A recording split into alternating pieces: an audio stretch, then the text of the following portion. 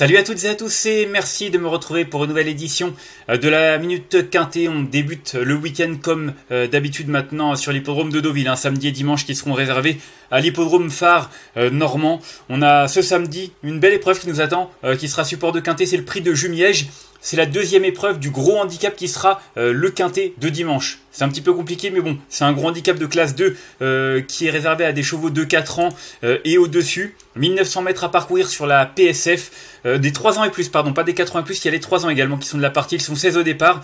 Euh, je ne sais pas si on a des 3 ans d'ailleurs dans cette épreuve, je crois pas, hein. non on n'en a pas. Il y a vraiment que des 4 ans et au-dessus qui ont répondu présent euh, dans cette compétition qui est prévue à 15h15, c'est la troisième course de cette réunion 1 des chevaux bien connus hein, euh, dans cette catégorie, comme vous le voyez euh, à l'image avec euh, ce tableau. Moi j'ai reconnu, j'ai retenu justement en tête de ma sélection le 7 Dragonnet. Il faut savoir qu'il y a deux courses références qui ont eu lieu sur ce parcours. Dragonnet, c'est celui qui a terminé le mieux hein, dans la course référence parmi ceux qui sont présents. Regardez, c'était le prix des collectivités locales, c'était il y a trois semaines, c'était fin juillet, et c'est vrai que il affichait un net regain de forme après une longue traversée du désert. Regardez cette musique, 16, 13, 14, 7, 5. Il n'avait rien montré depuis le début de l'année. Il faut dire que l'année dernière, à pareille époque, il avait remporté deux gros handicaps coup sur coup d'ailleurs, il avait remporté euh, la première épreuve hein, de ce euh, prix de Jumiège euh, qui se déroulera demain. maintenant, le cheval a été baissé sur l'échelle des valeurs progressivement. Il a retrouvé une valeur à laquelle il est compétitif. Il l'a prouvé en dernier lieu. Il adore ce parcours. Il a le numéro 4 dans les stalles de départ. Il est confié à Maxime Guillon. Avant le coup, tous les feux sont au. Pour moi, avec les œillères, il devrait logiquement lutter pour la victoire. Ensuite, en deuxième position, j'ai retenu le 6 Great Rotation qui a couru à cette épreuve référence en terminant seulement sixième. Maintenant, l'impression visuelle était vraiment pas mal parce qu'il n'a pas été euh, très chanceux au moment du sprint final. Il s'est quand même bien relancé. C'est un cheval qu'on connaît bien, Great Rotation, même s'il n'a que 4 ans. Il a désormais couru 12 euh, courses euh, support de quintet et il a 8 places. Il n'a pas encore trouvé son jour, mais à mon sens, ça va pas tarder. Peut-être que ce sera pour cette fois, d'autant qu'il a, il a tiré le numéro 1 euh, dans les stalles de départ. C'est vraiment un avantage. Et voilà, ce sera une question de parcours. C'est vrai que pas mal de concurrents se tiennent de près. Et je pense que ce numéro 6, Great Rotation, a vraiment les moyens de lutter pour la victoire. Ensuite, en troisième position, bah, j'ai retenu le 5, hein, Alerio, euh, qui a très bien couru hein, dans la course référence. Il a terminé troisième derrière Dragonnet. Regardez, il était à 29 contre 1. Il faut dire euh, qu'on ne s'attendait pas forcément à le voir à pareille fête. Il était un petit peu sur des sorties moyennes, surtout dans cette catégorie. Il n'avait pas montré grand-chose. Maintenant, j'ai l'impression que ce poulain de 4 ans est bien plus efficace euh, sur une piste en sable et sur cette distance, hein, parce que il courait sur des distances un petit peu plus longues auparavant. 1900 mètres, j'ai l'impression vraiment qu'il a trouvé sa bonne distance. On attend une conférence de sa part. Euh, s'il réalise la même performance qu'il vient de fournir, à mon sens, il devrait pouvoir terminer sur le podium. Ensuite, en quatrième position, j'ai retenu le 8 full précieux. Alors lui, euh, c'est celui qui a terminé le mieux parmi ceux qui se sont pas imposés dans l'autre course référence. Il a été battu par Lettice Marvel, comme vous le voyez, mais Lettice Marvel a été pénalisé. Du coup, lui, avant le coup, il présente beaucoup plus de garanties puisqu'il aura moins de poids à porter. En tout cas, euh, l'écart de poids avec Lettice Marvel est beaucoup plus avantageux pour ce full précieux. Le fait euh, qu'il est numéro 15 dans les stalles de départ, ça m'inquiète pas trop parce que c'est un cheval qui va de l'avant. Du coup, à mon sens, il va partir vite et occuper rapidement les avant-postes. On a vu que c'était une technique qui marchait, hein, notamment ce jeudi avec Tremblant qui a remporté le quintet pour 3 ans. Certes, c'était sur 1500 mètres, mais il avait pris tête et corde et c'est vrai que j'ai l'impression que cette technique euh, et cette tactique marche vraiment bien euh, cette saison sur l'hippodrome euh, de Deauville, sur la PSF notamment. Du coup, voilà, je lui ai fait confiance, surtout pour une belle place. Pour la victoire, à mon avis, il y a peut-être mieux, mais s'il venait à terminer 3-4ème, il n'y aurait pas crié au scandale. Ensuite, en cinquième position, j'ai retenu le 4, hein, Exciting, qu'il faut reprendre en confiance. Hein. Dernièrement, il a couru 1600 mètres à ligne droite. C'était vraiment euh, pas du tout son parcours. Euh, C'était pas du tout ce, genre de tracé qu'il aime. Il a surtout couru sur des distances entre 1008, 2000, 2003. c'est vrai que c'est un cheval qu'on a déjà vu d'ailleurs à son avantage sur ce parcours. Il a un bon numéro dans les stalles de départ. Il a été baissé d'une livre hein, euh, suite à son dernier échec. Je trouve qu'il est bien placé au niveau du poids et dans les stalles. Il est associé à Déo Bachelot. Pour moi, il a pas mal d'atouts dans son Alors Peut-être que pour la victoire, il va manquer, il y a peut-être mieux que lui, mais avec ce tel numéro dans les stades de départ, s'il se retrouve rapidement euh, dans le groupe de tête ou non loin des premiers, il est capable de conserver une place à l'arrivée de ce quintet. Ensuite, en sixième position, j'ai retenu le 3 Koshenko que je reprends en confiance. Hein. Euh, dernièrement, dans la course référence, vous le voyez, il était non placé à 8 contre 1, il était joué. Maintenant, il s'est retrouvé loin. Euh, c'était difficile de revenir. Il n'a pas eu le parcours qu'il fallait pour faire l'arrivée. On le connaît, Koshenko. C'est un Hongre de 8 ans. Il a couru, je sais pas, une trentaine, une quarantaine de quintés. Il en a remporté euh, deux ou trois.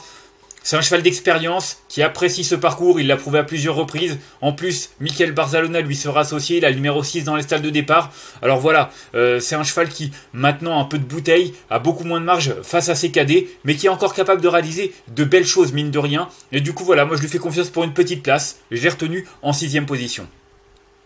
Et ensuite, euh, pour finir, j'ai retenu euh, en 7e et 8e position les deux pensionnaires euh, de Stéphane Cerulis, à commencer par l'As Uzel. Uzel qui a déjà bien fait sur ce parcours. Hein. D'ailleurs, il a remporté un quintet sur ce parcours, je crois. dernièrement, dans la course référence, vous le voyez, il est non placé alors qu'il était proposé à 7,70€.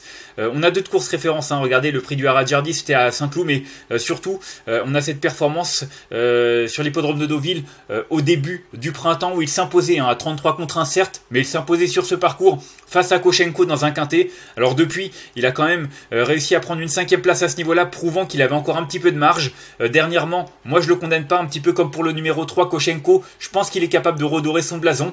Pour la victoire, à mon avis, il est clairement barré, mais pour une 4-5e place, on est obligé de le retenir.